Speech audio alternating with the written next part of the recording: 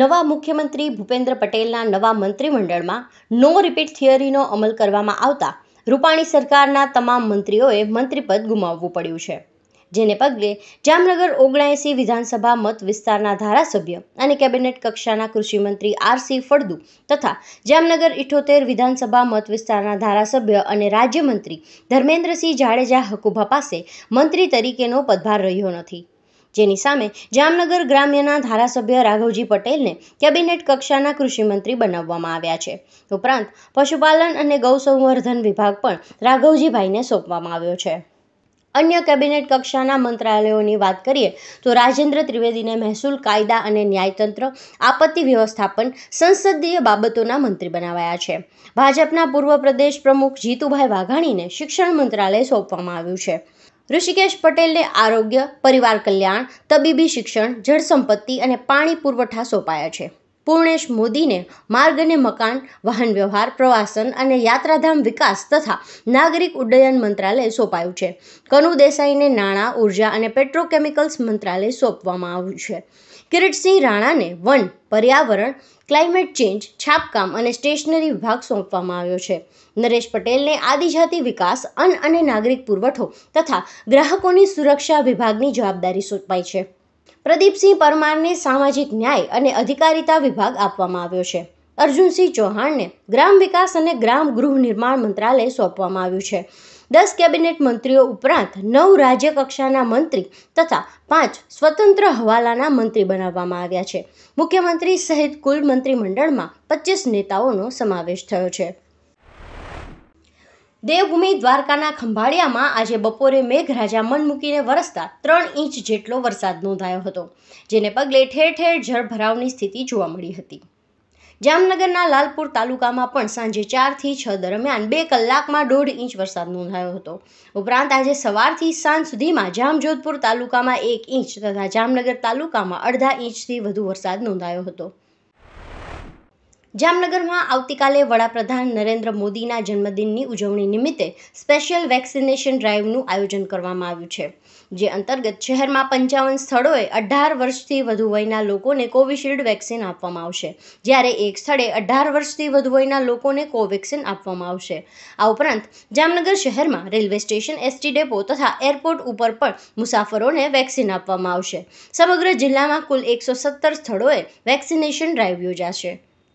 જામનગર જિલ્લામાં માનનીય વડાપ્રધાનશ્રીના જન્મદિવસ નિમિત્તે આપણે એક મેગા વેક્સિનેશન ડ્રાઈવનું આયોજન કરવા જઈ રહ્યા છીએ. એમાં ઓલમોસ્ટ આપણે ઓગણપચાસ હજાર લોકોને કવર કરવાનું ગ્રામ્ય વિસ્તારમાં આયોજન કર્યું છે. બસો સાડત્રીસ ગામોના ઓલમોસ્ટ એકસો ને સત્તર જેટલા રસીકરણ કેન્દ્રો ઉપર અમારા ચારસો ને છવ્વીસ વેક્સિનેટર અને નવસો હજાર જેટલા ફિલ્ડ સ્ટાફ એ બધું સાથે રહીને આપણે એક મેગા વેક્સિનેશન ડ્રાઈવ પૂર્ણ કરવા જઈ રહ્યા છીએ. આપણા જામનગર જિલ્લામાં પ્રથમ ડોઝ એંસી ટકા એંસી ટકા પોપ્યુલેશનને અપાઈ ચૂક્યું છે અને સેવન્ટી એટ પર્સન્ટને જે આપણે સેકન્ડ ડોઝ છે એ પણ થઈ ગયું છે. તો મીડિયાના માધ્યમથી હું બધાને અપીલ કરવા માગું છું કે તમારા નજીકના સેન્ટર ઉપર જઈને, ફર્સ્ટ ડોઝ હોય કે જ્યાં સેકન્ડ ડોઝ ડ્યુ થઈ ગયો અને બાકી હોય એ તમે નજીકના સેન્ટર ઉપર જઈને સવારથી સાંજ સુધીમાં, એટલે રાત, મોડી રાત સુધી પણ વેક્સિનેશન કેમ્પ આપણે ચાલવાનું છે, તો એમાં જઈને આપ વેક્સિનેશનનો લાભ લઈ શકશો. આપણે વેક્સિનેશન સેન્ટર્સ માટે જે રેગ્યુલર છે, PHC CHC urban health centre community health centre, એ બધાનું તો કરશું, પણ એની સાથે સાથે જ્યાં લોકોનું અવર જવર વધારે હોય, એવા railway station, bus station, airport toll નાકાઓ અને આ બધા જે એરિયાઝ છે, એ પણ આપણે કવર કરીને વેક્સિનેશન કરવાના છીએ. જામનગર શહેર અને જિલ્લા માટે આપણી પાસે સેવન્ટી સેવન થાઉઝન્ડ જેટલા જે ડોઝેસ છે એ અવેલેબલ છે અને લોકોને ફરીથી અમે અપીલ કરીએ છીએ કે મેક્સિમમ સંખ્યામાં બહાર નીકળીને એ વેક્સિનેશનનું લાભ લે. સર કેટલા ડોઝ આપવામાં આવશે? શહેર માટે સત્યાવીસ હજાર પાંચસો ડોઝેસ આપણી પાસે અવેલેબલ છે. રૂરલમાં forty nine thousand five hundred એટલે ઓલમોસ્ટ પચાસ હજાર જેટલા ડોઝેસ આપણી પાસે અવેલેબલ છે. સાહેબ આમાં ફર્સ્ટ અને સેકન્ડ ડોઝનો જે કાલે એવું રેશિયોમાં એવું કંઈ ડિવાઈડ નથી કર્યું. કાલે બધા જ લોકોને જેટલા લોકો સેકન્ડ ડોઝ માટે ડ્યુ છે અને ફર્સ્ટ ડોઝ જેનું બાકી છે એ બધા લોકો નજીકના સેન્ટર ઉપર જઈને વેક્સિનેશન લઈ શકે છે વેક્સિનેશનનો સમયગાળો શું વેક્સિનેશન સવારે આઠ વાગ્યાથી સ્ટાર્ટ થઈને આપણે રાત્રે, મોડી રાત્રે સુધી, જ્યાર સુધી પણ લોકો આવતા હોય એ આપણે વેક્સિનેશન પૂરું કરાવશું. આજની આ પ્રેસ કોન્ફરન્સમાં સૌ પ્રિન્ટ અને ઇલેક્ટ્રોનિક મીડિયાનું સ્વાગત છે અને આવતીકાલે માનનીય વડાપ્રધાનશ્રીનો જે જન્મદિવસ છે એ અંતર્ગત જે કામગીરી થવાની છે એ બાબતની માહિતી આપ સાથે શેર કરવા માગું છું.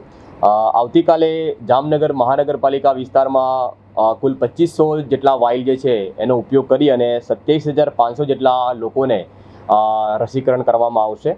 અને ખાસ તો જે લોકો સેકન્ડ ડોઝ જેનો બાકી છે, જેને પ્રથમ ડોઝ લીધો છે, પણ સેકન્ડ ડોઝ બાકી છે એવા બધા જ નાગરિકો છે અને મારી વિનંતી છે કે સત્વરે આ બીજો ડોઝ જે છે એ લઈ લે.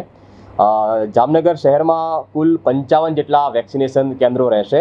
અને અત્યાર સુધી જો આપણે વાત કરીએ તો જામનગર શહેરમાં જે એલિજિબલ લોકો છે, જેને આપણે રસી આપવાની છે, એવા ચાર લાખ સિત્તેર હજારની આજુબાજુના લોકોમાંથી ત્રણ લાખ છન્નું હજાર જેટલા લોકોએ અત્યાર સુધી ફર્સ્ટ ડોઝ લઈ લીધો છે. કરીબન આપણે પંચ્યાસી ટકા જેટલા લોકોને આ ફર્સ્ટ ડોઝમાં કવર કરી લીધા છે.